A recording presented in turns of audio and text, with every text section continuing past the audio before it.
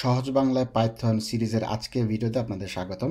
আজকের ভিডিওতে আমরা আলোচনা করব স্ট্রিং এবং এর কিছু অপারেশন নিয়ে। তবে তার শুরুতে আমরা গত ক্লাসের যে হ্যাকার র্যাঙ্কে যে দুটো প্রবলেম আপনাদের করে দিয়েছিলাম হোমওয়ার্ক হিসেবে, সেটার সলিউশন আলোচনা করে ফেলব। তারপরে আমরা শুরু করব স্ট্রিং নিয়ে আলোচনা। আর সবশেষে যে আলোচনা করব, সেটার উপর বেস করে একটা হোমওয়ার্ক দিব আপনাদেরকে, হ্যাকার র্যাঙ্কের একটা প্রবলেম, যেটা আপনাদের জন্য হোমওয়ার্ক থাকবে। তো চলেন প্রথমে আমরা গত ক্লাসের দেওয়া হোমওয়ার্কগুলো সলভ করে আসি।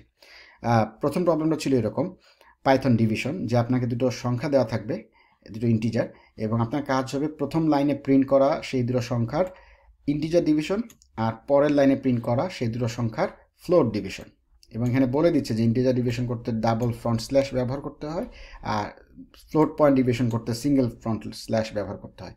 তাহলে চলেন করে ফেলি। তো বলে নিই আগেই যে সংখ্যা দুটো এ আর বিতে অলরেডি দেওয়া থাকবে মানে আমাকে নতুন করে সংখ্যা ডিফাইন করার দরকার নেই। আমি শুধু এ আর বি ব্যবহার করে কাজটা করব। তো চলেন করে ফেলি। প্রথম কাজ কি? এ এবং ডাবল স্ল্যাশ বি তো এটা ইন্টিজার ডিভিশন হবে। আর পরের লাইনে প্রিন্ট করি চলেন এ সিঙ্গেল স্ল্যাশ বি তাহলে সেটা ফ্লোট পয়েন্ট ডিভিশন হবে। আমাদের কোড করা শেষ। চলেন রান কোড দেই। রান কোড দিলে দেখেন কংগ্রেচুলেশনস আমরা টেস্ট কেস পাস করছি। অর্থাৎ চার আর তিনের ক্ষেত্রে আমাদের আউটপুট এবং এক্সপেক্টেড আউটপুট মিলে যাচ্ছে। এইবার যখন আমরা সাবমিট কোড করে কোডটা সাবমিট করে দেব, দেখা যাবে এটা আরও বিভিন্ন টেস্ট কেস নিয়ে টেস্ট করে সবগুলো টেস্ট কেসের বেলায় আমাদের কোড রান করছে পাস করছে, আমরা সাকসেসফুল ডান এই যে হ্যাকার র্যাঙ্ক আপনার কোডটা বা আমার আপনার লেখা কোডটা বিভিন্ন টেস্ট কেস দিয়ে চেক করে দেখছে এই জিনিসটা করার জন্যই এই দুটো লাইনের দরকার। কারণ হ্যাকার র্যাঙ্ক বিভিন্ন পিছনে লুকানো কোনো ফাইল থেকে দুটো নাম্বার রিড করতেছে, এই ইনপুট ফাংশন কল করে, সেটাকে কনভার্ট করতেছে ইন্টিজারে করে, এতে রেখে দিচ্ছে, একইভাবে দ্বিতীয় নাম্বারটা ইনপুট দিয়ে রিড করে, ইন্টিজারে কনভার্ট করে বিতে রেখে দিচ্ছে, তারপরে আমরা কাজ করতেছি আমাদের কোড। ঠিক না? তো মানে এই জিনিসটা আপাতত আপনাদের না বুঝলেও চলবে, শুধু এইটুকু জেনে রাখেন, এই কোডটা দরকার বিভিন্ন টেস্ট কেস মানে রান করে আপনার আমার লেখা কোডটা টেস্ট করার জন্য। ঠিক আছে?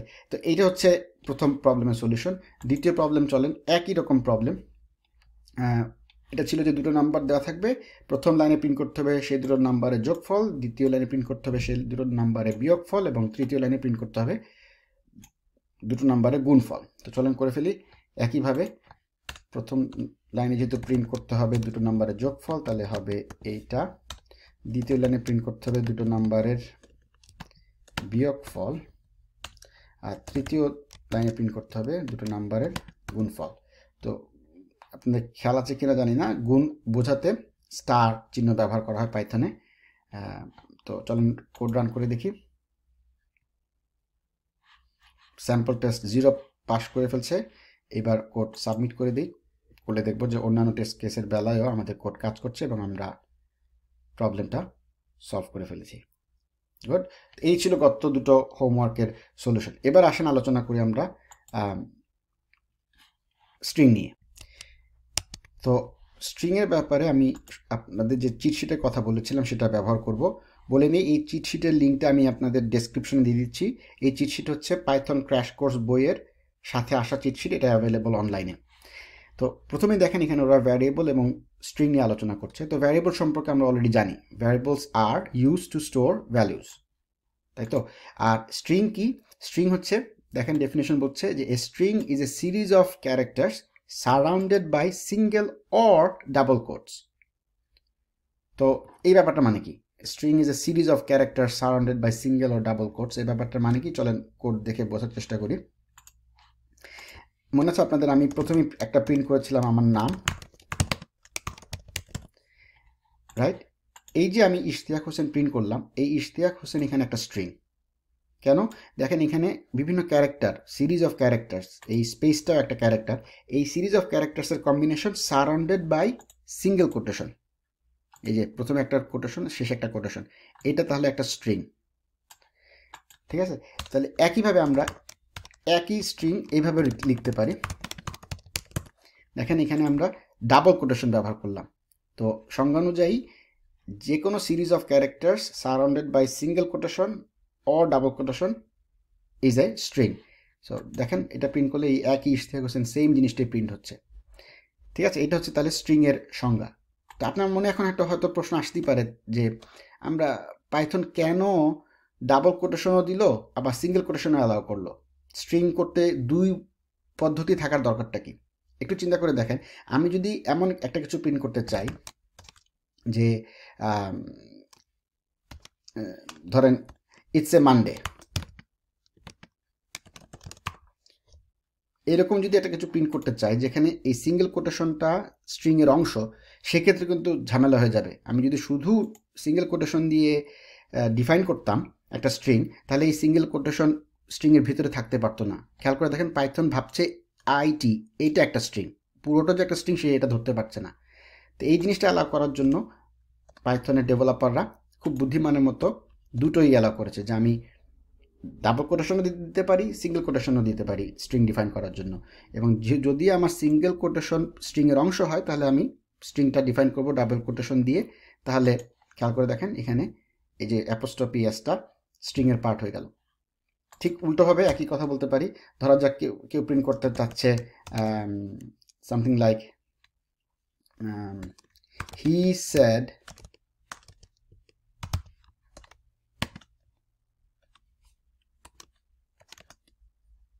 it is a Monday এরকম যখন কিছু একটা প্রিন্ট করতে চাই, যেখানে এই কোটেশন মার্কটাই স্ট্রিংয়ের অংশ, এই জিনিসটা করার সুবিধার জন্য আমাদের এই সিঙ্গেল কোটেশনটা কাজে আসবে। আপনাদের হয়তো মনে প্রশ্ন আসছে যে, যদি আমি সিঙ্গেল কোটেশন এবং ডাবল কোটেশন দুটোই একটা স্ট্রিংয়ের অংশ করতে চাই, সেক্ষেত্রে কি হবে? অর্থাৎ আমি যদি ইট ইটিজের বদলে এখানে ইটস লিখতে চাই, সেক্ষেত্রে আমি কি করব? ঠিক না? সেক্ষেত্রে তো একটা ভেজাল হয়ে যাচ্ছে। আমি এটা উত্তর এই ভিডিওতে দিচ্ছি না পরের একটা ভিডিওতে আলোচনা করব। আপনাদের জন্য এটা ব্রেইন টিজার হিসেবে রেখে দিলাম। আপনারা নেটে ঘাটাঘাটি করে বা একটু চিন্তা করে দেখেন তো বের করতে পারেন কি না যে আমি একটা স্ট্রিং যেটার মধ্যে সিঙ্গেল কোটেশন এবং ডাবল কোটেশন দুটোই থাকবে, সেটা পাইথনে কি করে ডিফাইন করব? এটা আপনাদের জন্য একটা ব্রেইন টিজার হিসেবে রেখে দিলাম। আচ্ছা এবার চলেন স্ট্রিংয়ের কিছু অপারেশন সম্পর্কে দেখে নিই। ধরা যাক আমাকে একটা স্ট্রিং দেওয়া আছে ফার্স্ট নেম যেটা হচ্ছে দিলাম ইশতিয়াক। আর লাস্ট নেম দিলাম হুসেন আচ্ছা এখন আমি চাই দুটোকে একসাথে যোগ করে দিতে। মানে একটা প্রিন্ট করতে যেখানে থাকবে এরকম একটা যে first name plus last name এই কাজটা যদি করি তাহলে কি হয়? চলেন রান করে দেখি। খেয়াল করে দেখেন ইশতিয়াক এবং হুসেন একসাথে লেগে গেছে। এই যে দুটো সংখ্যা পাশাপাশি সরি নট সংখ্যা, দুটো স্ট্রিং পাশাপাশি যোগ হয়ে গেল, এই জিনিসটাকে ইংরেজিতে বলে কনক্যাটিনেশন ঠিক আছে? স্ট্রিং কনক্যাটিনেশন স্ট্রিং কনক্যাটিনেশন কিন্তু মজার ব্যাপারটা দেখেন স্ট্রিং কনক্যাটিনেশন করতে আমরা যোগ করতে যে সিম্বল বা যোগ চিহ্ন বা প্লাস সিম্বল ব্যবহার করি পাইথনে স্ট্রিং কনক্যাটিনেশন করতে ওই একই সিম্বল ব্যবহার করা হচ্ছে। ঠিক আছে? এখন কথা হচ্ছে, দেখেন দেখতে তো খারাপ লাগছে, এখানে একটা স্পেস থাকার দরকার ছিল। সেটা কীভাবে অ্যাড করতে পারি? খুব সহজ আর একটা প্লাস চিহ্ন দিয়ে মাঝখানে চলেন একটা স্পেস অ্যাড করে দিই। তো এই যে স্পেস একটা ক্যারেক্টার হোয়াইট স্পেস এটা কিন্তু একটা ক্যারেক্টার হিসেবে এবং পুরো জিনিসটা ফার্স্ট নেম একটা স্ট্রিং মাঝখানে স্পেস একটা স্ট্রিং লাস্ট নেম একটা স্ট্রিং সবগুলো এক হয়ে, যোগ হয়ে অর কনক্যাটিনেটেড হয়ে, দেখেন ইশতিয়াক স্পেস হুসেন প্রিন্ট হয়ে গেল। ঠিক আছে? তো এটাকে বলা হয় স্ট্রিং কনক্যাটিনেশন এখন চলেন আলোচনা করি স্ট্রিপিংয়ের ব্যাপারটা কি। ধরা যাক আপনাকে একটা স্ট্রিং দিলাম, লম্বা একটা স্ট্রিং এবং সেটা লিখে দিলাম যে এ লং স্ট্রিং নামে একটা ভ্যারিয়েবলের মধ্যে লিখে দিলাম যে এক্সট্রা স্পেস দিয়ে দিলাম। This is a long string string with lots of কিছু একটা দিলাম। এই জিনিসটা যদি আমি এখন এখানে প্রিন্ট করি, এ লং স্ট্রিং যদি আমি প্রিন্ট করি, দেখেন, এখানে আসতেছে this is a long string with lots of dot dot dot এই যে সামনে কিছু এক্সট্রা স্পেস চলে আসছে, এখানে দেখা যাচ্ছে না, কিন্তু পিছনে কিছু এক্সট্রা স্পেস আছে। এই জিনিসটা যদি আমি কেটে ছেটে পরিষ্কার করে ফেলতে চাই, যে দুই পাশ থেকেই আমি স্ট্রিপ করে ফেলব, তাহলে কীভাবে করা যায়? এই অপারেশনটাকে বলা হয় স্ট্রিপ এটা যদি আমি করি, তাহলে দেখেন লম্বা স্ট্রিংটা থেকে দুই পাশের এক্সট্রা হোয়াইট স্পেস বা স্পেসগুলো চলে গিয়ে একটা লাইন হয়ে যাবে। ঠিক আছে? একসাথে হয়ে গেল। এই অপারেশনটাকে বলে যে দুই পাশ থেকে, সামনে এবং পেছন থেকে এক্সট্রা স্পেসগুলো কেটে ছেটে ফেলে দিলাম। এটাকে বলা হয় স্ট্রিপিং অপারেশন একটা জিনিস খেয়াল করে দেখবেন, এই যে স্ট্রিপ অপারেশনটা আমি অ্যাপ্লাই করলাম, সেটা কিন্তু এই যে এই লং স্ট্রিং এই ভ্যারিয়েবলের উপরে একটা ডট সিম্বল দিয়ে তারপরে স্ট্রিপ অপারেশনটা আমি বা ফাংশনটা কল করে স্ট্রিপ করলাম। এখন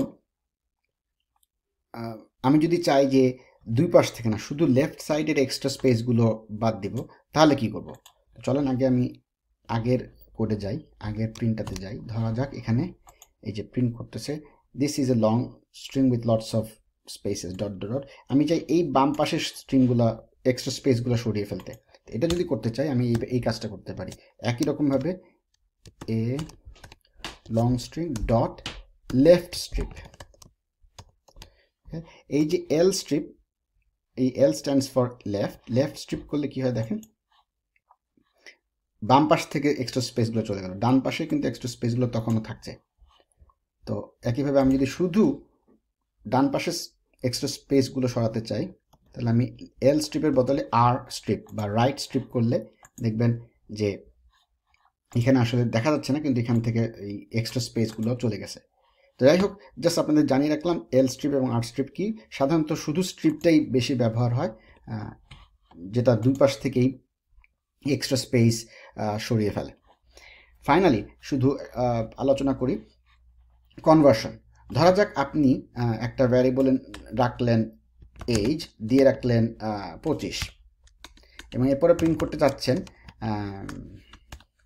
হিজ এজ ইজ বলে আপনি প্লাস করে দিলেন এইজ এটা যদি রান করি, দেখেন এখন কোনো এরর দেখাচ্ছে না, এটা রান করলেই একটা এরর রান টাইমে একটা এরর হবে। চলেন দেখি। দেখেন এখানে বলতেছে টাইপ এরর কি টাইপ এরর বলতেছে যে স্ট্রিং কনক্যাটিনেশনটা ঠিক আছে? এই স্ট্রিং কনক্যাটিনেশনটা স্ট্রিং এবং ইন্টিজারের মধ্যে হতে পারবে না। দুটোই কি স্ট্রিং হতে হবে? এর মানে কি? খেয়াল করে দেখেন, এই যেখানে হচ্ছে পঁচিশ, এটা একটা integer R he is his age is এটা একটা স্ট্রিং এই দুই স্ট্রিংয়ের মধ্যে মানে যেহেতু একটা স্ট্রিং একটা ইন্টিজার এটাকে কনক্যাটিনেট করা সম্ভব না। দুটো একই টাইপ হতে হবে। তাহলে উপায় কি? উপায় হচ্ছে এটাকে স্ট্রিংয়ে কনভার্ট করতে হবে। এই ইন্টিজারটাকে স্ট্রিংয়ে কনভার্ট করতে হবে এবং সেটা করার উপায় হচ্ছে এসটিআর এই ফাংশনটা কল করা। এই ফাংশনটার কাজ হচ্ছে কনভার্ট করবে। এই স্ট্রিংটাকে এই ইন্টিজারটাকে স্ট্রিংয়ে কনভার্ট করবে। এবং একবার যখন স্ট্রিংয়ে কনভার্ট হয়ে যাবে, তখন যেহেতু দুটোই স্ট্রিং সহজেই প্লাস সিম্বল দিয়ে আমরা স্ট্রিং কনক্যাটিনেশন করতে পারব। চলেন রান করে দেখি। দেখেন he his age is twenty five এই জিনিসটা ঠিকমতো প্রিন্ট হচ্ছে। ঠিক আছে? আশা করি এই জিনিসগুলো আপনাদের ক্লিয়ার ফাইনালি একটা ছোট হোমওয়ার্ক দিয়ে আপনাদের কাজটা শেষ করি। সেটা হচ্ছে এগেন এই লিঙ্কটা আমি দিয়ে দিব ডেসক্রিপশনে আপনারা যে স্ট্রিং কনকেটিনেশন শিখলেন, সেই আইডিয়াটা দিয়ে এই প্রবলেমটা সলভ করতে হবে। প্রবলেমটা কি? যে আমাকে ফার্স্ট নেম এবং লাস্ট নেম সিস্টেম থেকে দেওয়া হবে। আমাকে ডিফাইন করতে হবে না। আমার কাজ হচ্ছে এদের ফুল নেমটা প্রিন্ট করা। শুধু প্রিন্ট না, অনেকটা এরকমভাবে প্রিন্ট করা। যদি রস এবং টেইলর দেওয়া হয়, তাহলে আমাকে প্রিন্ট করতে হবে hello Ross Taylor exclamation sign you just Dave into Python full stop এই এরকমটা জিনিসটা প্রিন্ট করতে হবে। এখানে রস এবং টেলরের জায়গায় অন্যান্য নাম আসবে। Depending on but first name এবং লাস্ট নেম হোল্ড করছে, সেই হিসাবে অন্য নাম আসবে। কিন্তু এরকম একটা ফরম্যাটে জিনিস আপনাকে প্রিন্ট করতে হবে। এবং প্রিন্ট করতে হবে কোথায়? আপনাকে কোডটা লিখতে হবে এখানে। দেখি আপনারা এটা করতে পারেন কি না এটা সলিউশন আমি নেক্সট ক্লাসের ভিডিওতে আলোচনা করব। ধন্যবাদ।